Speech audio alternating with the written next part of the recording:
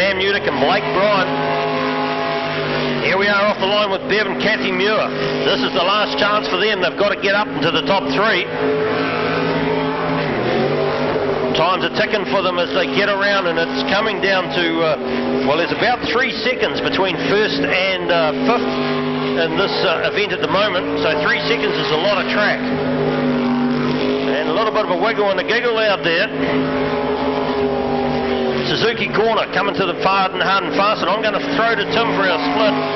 Split's looking good. 38.24. 30.824. So we're down into, they're looking at the 48s. Oh, they just about dug it in there.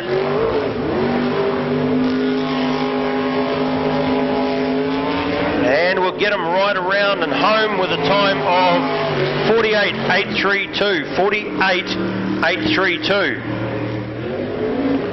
And I think that'll be the end of the night for them because their time earlier on.